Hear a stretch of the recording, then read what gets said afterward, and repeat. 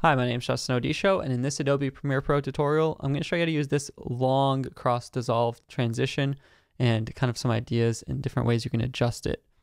So the first thing you're going to want to have is two clips that are longer shots on your timeline, uh, something that just holds itself for 10, 20 seconds so that you do have room to make it longer. There's a couple different ways you can do this. So the first way normally is just to have the clips next to each other, right click in the middle and apply a default transition.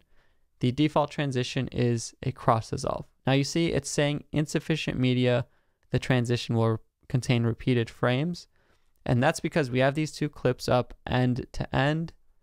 And you know that it's the end because these little white end caps here, these little half triangles, that shows us that this is the true end of the clip. Whereas if I was to trim the clip, you see that it doesn't have that white end cap and that means there's all of this additional room. So when you try to apply a transition in between them, it's just letting you know that we're just going to basically do a freeze frame because this is the end of the clip and we're going to start playing the video when it actually plays. Up until then, it's just using the first frame and the last frame at static. And you can also see that that's happening because this little piece of tape for the transition is got these strike through patterns whereas normally it should be colored. So the cool part is you can click on the transition strip and you can make it longer or shorter. It has its own effect control panel and you can make it begin or end at a certain part of the clip. But in this case, I don't want to start at the very end of the clip. I want the clips to kind of go into each other.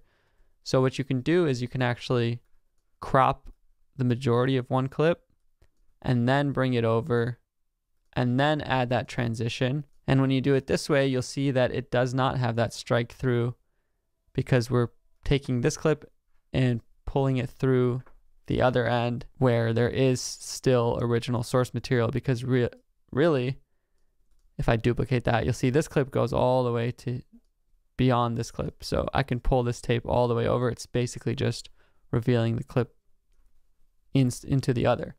So when you do a traditionally a simple a default transition is like a second or two long, but if you do this cool thing where you hold it for a very long time, you get this blend of the clips that happens where we basically have 50% opacity and 50% opacity.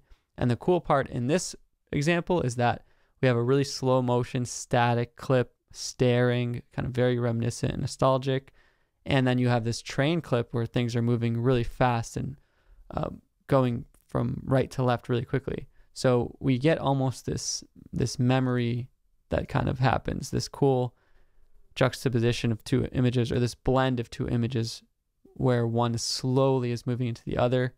It can be really cool for slow montage scenes, or you can do this sustainedly throughout several clips. So you can go from one to the other but do them all in this slow tempo way.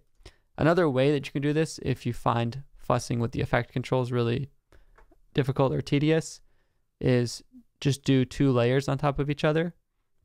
So you can just put one layer on top of the other. I'll apply the default transition this time just on the second layer and then just kind of zoom in there so I can highlight that little piece of tape and apply that cross dissolve, but make it much longer than default. So in this case, again, we have a cool juxtaposition of a static, slow shot to a fast moving, but still frame shot. If you don't want to do this with the default transitions, you can actually open up the effects panel inside of the video transitions folder. There's a whole bunch of different dissolves. So there's cross dissolve as the default, but you can do film dissolves or dips to different colors, and they just have slightly different looks and ways they can blend.